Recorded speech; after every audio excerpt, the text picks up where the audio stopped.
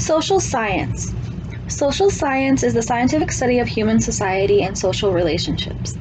The branches of social science include human geography, economics, linguistics, political science, anthropology, communication, translation studies, sociology, psychology, criminology, law, development studies, cultural studies, and education.